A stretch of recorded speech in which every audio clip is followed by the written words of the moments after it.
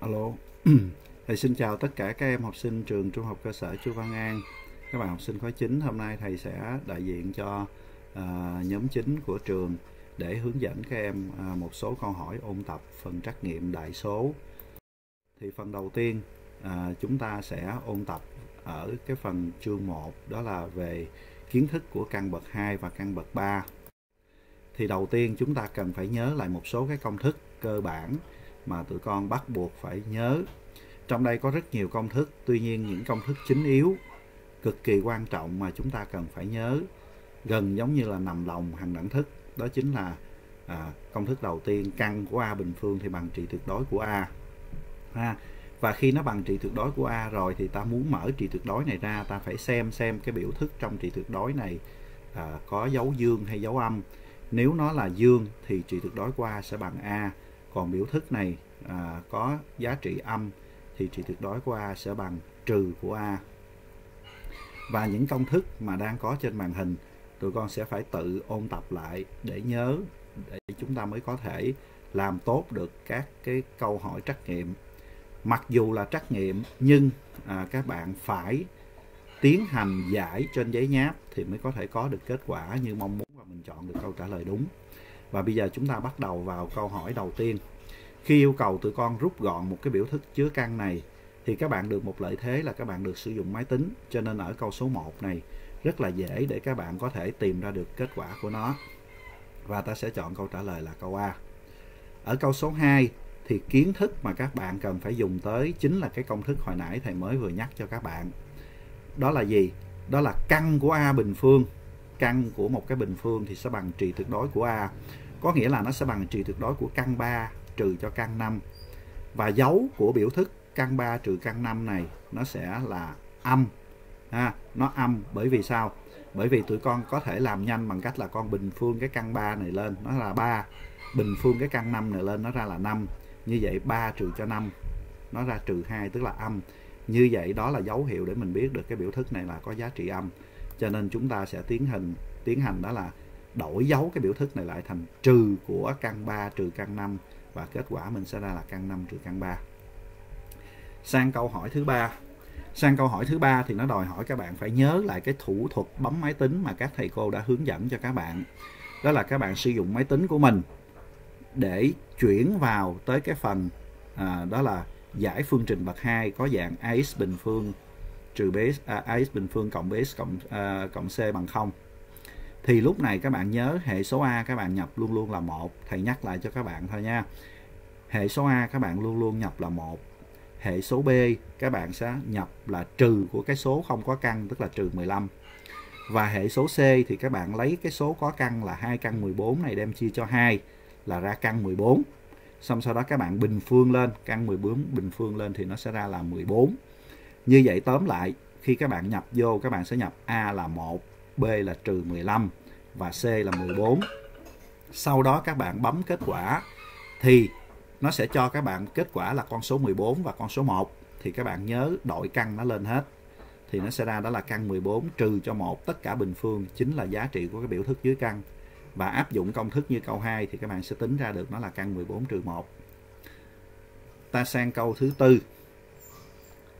Câu thứ tư thì các bạn lưu ý đây là phương trình à, x bình phương bằng 9 thì 9 lớn hơn 0 các bạn được phép rút căn hai vế. Nó sẽ ra được đó là trị tuyệt đối của x bằng 3 cho nên x sẽ bằng đó là cộng trừ 3 và ở câu thứ năm thì các bạn kết hợp việc bấm máy tính như câu 3 để các bạn tính ra được tử của các bạn sẽ chính là căn 5 cộng 1 và như vậy căn 5 cộng 1 chia cho 1 cộng căn 5 thì kết quả của câu 5 này sẽ là là 1.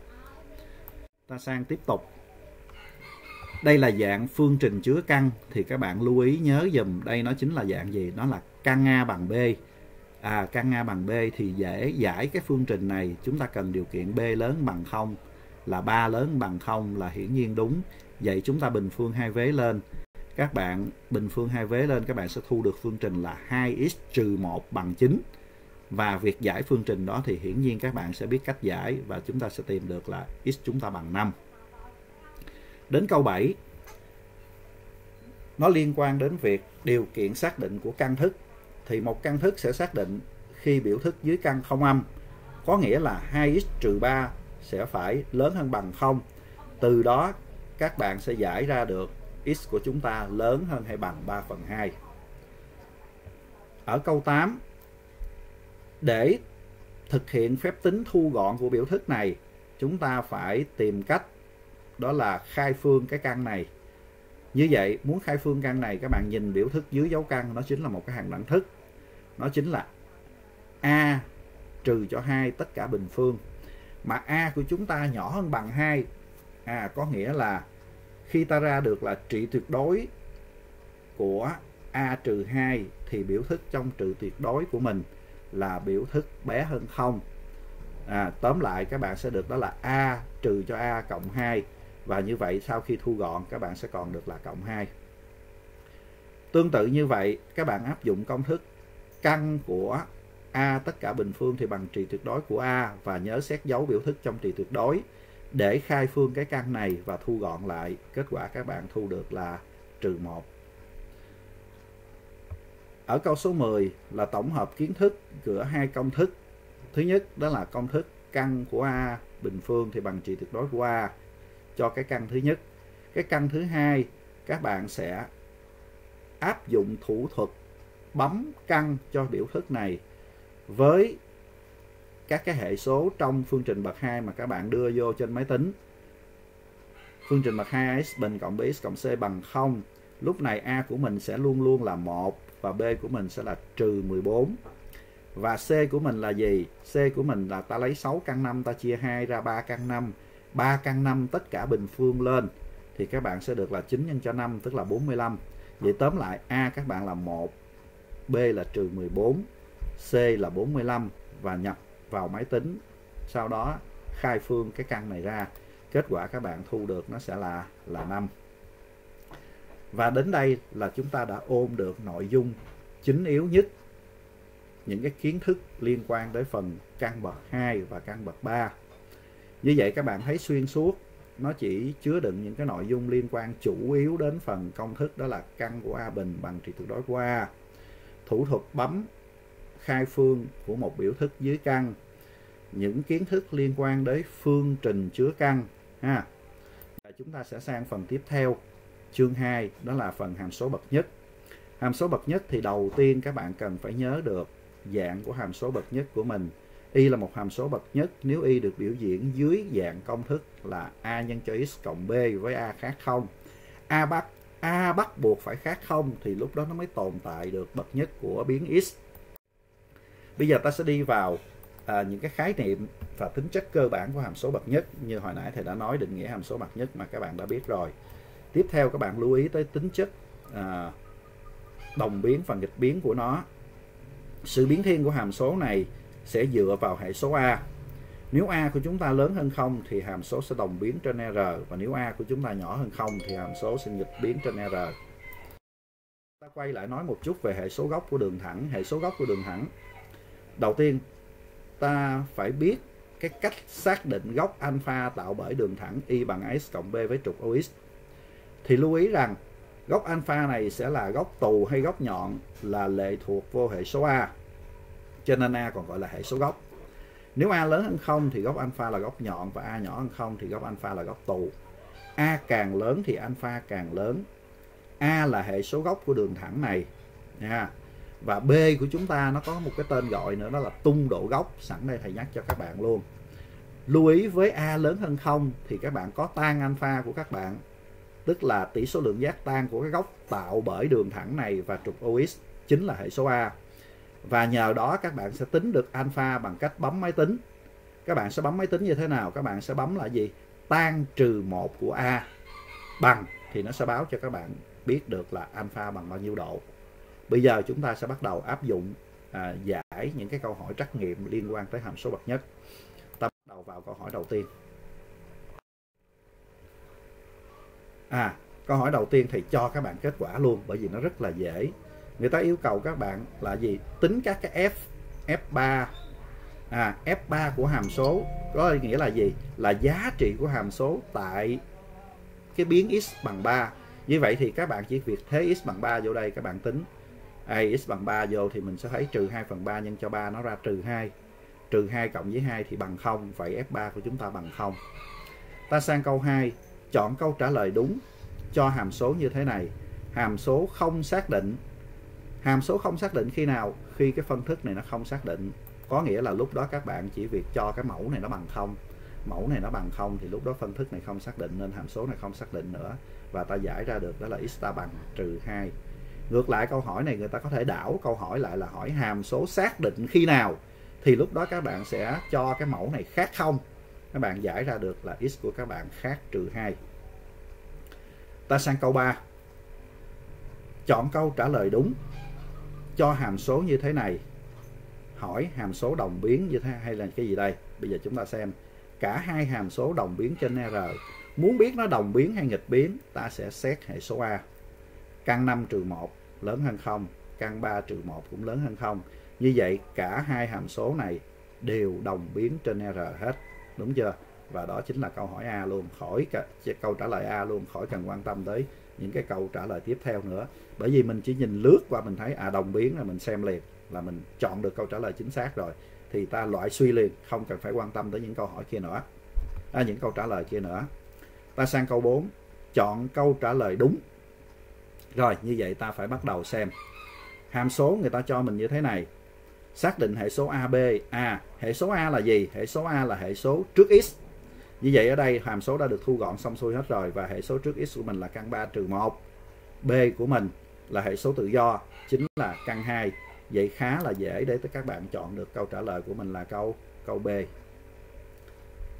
Ta sang phần tiếp theo, câu hỏi số 5 hàm số này là hàm số bậc nhất khi nào? Hồi nãy khi vừa bắt đầu với chương 2 thầy có nói các bạn, nó sẽ là hàm số bậc nhất với điều kiện, với điều kiện gì? Hệ số A của mình phải khác không? Hệ số A của mình khác không chính là gì? M trừ 4 phần m cộng 2 và m trừ 4 này khác không? Khi m khác 4 đồng thời cái mẫu của nó phải xác định là m phải khác 2 luôn. Cho nên ta có câu trả lời của mình là m khác 2 và m khác khác 4 chọn câu trả lời đúng cho câu số 6 hàm số đồng biến khi nào? Hàm số đồng biến khi hệ số A. Dương, có nghĩa là các bạn sẽ có m trừ 3 lớn hơn 0 giải bất đẳng thức đó, các bạn sẽ có được là m lớn hơn 3 thì hàm số sẽ đồng biến. Tương tự như vậy đối với câu số 7 hàm số sẽ nghịch biến khi nào? Khi hệ số A âm, có nghĩa là m cộng 2 của các bạn nhỏ hơn 0 từ đó các bạn giải ra được m các bạn nhỏ hơn trừ 2 ta sang câu 8 trong mặt phẳng tọa độ khoảng cách giữa hai điểm này thì cái này các bạn sẽ lấy giấy nháp các bạn vẽ tọa độ hai điểm này ra xong sau đó bắt các bạn áp dụng định lý Pythagore để tính thì các bạn sẽ tính được MN chính là cạnh huyền của một cái tam giác vuông thì nó sẽ bằng tổng bình phương à, của hai cạnh còn lại rút căn nha. Các bạn sẽ dễ dàng tính ra được là MN của mình bằng bằng 5 ta tiếp tục ha câu số 9 chọn câu trả lời đúng. Đây góc tạo bởi David với là góc tù khi nào? Nó là góc tù khi a của mình nó nhỏ hơn không? Tức là 2m cộng 5 nhỏ hơn không? Từ đó các bạn giải ra tìm được là m của các bạn sẽ nhỏ hơn trừ 5 phần 2 lúc nãy lý thuyết thầy có nói với các bạn nếu a dương thì alpha, góc alpha của mình là góc nhọn mà nếu a âm thì góc alpha của mình sẽ là góc tù. Và câu hỏi cuối cùng liên quan tới phần hệ số góc cho đường thẳng này góc alpha tạo bởi trục OX có số đo bằng bao nhiêu làm tròn đến phút? Thì con thấy các bạn thấy ở đây mình có hệ số A của mình là 1 phần 2 dương. Như vậy tan alpha sẽ bằng 1 phần 2 từ đó các bạn sử dụng máy tính để bấm tan trừ 1 của 1 phần 2 các bạn sẽ thu được alpha của bạn có số đo đó là 26 độ 33 phút. Như vậy thì à, với 10 câu hỏi để ôn tập kiến thức tổng quát cho các bạn ở chương 1 và chương 2 này. Nhằm mục đích củng cố lại kiến thức và các bạn phải coi là những cái mảng kiến thức liên quan tới các câu hỏi để tự rèn luyện thêm. Chứ không phải những câu hỏi này là chứa đựng à, đầy đủ hết tất cả những trường hợp có khả năng xảy ra. Nó chỉ là những cái ôn tập mang tính chất minh họa tụi con phải tự ôn bài thêm để rèn luyện kỹ năng. Bởi vì có những câu hỏi bắt buộc các bạn phải lấy giấy nháp ra tính toán thì các bạn mới có thể giải quyết được nó. Việc ôn tập uh, của thầy uh, hỗ trợ cho các bạn đến đây là kết thúc. Thì chúc các bạn ôn bài tốt và làm bài tốt trong uh, kỳ thi sắp tới. Thầy xin chào chúc các bạn có kỳ thi tốt và thành công. Sức khỏe mạnh khỏe.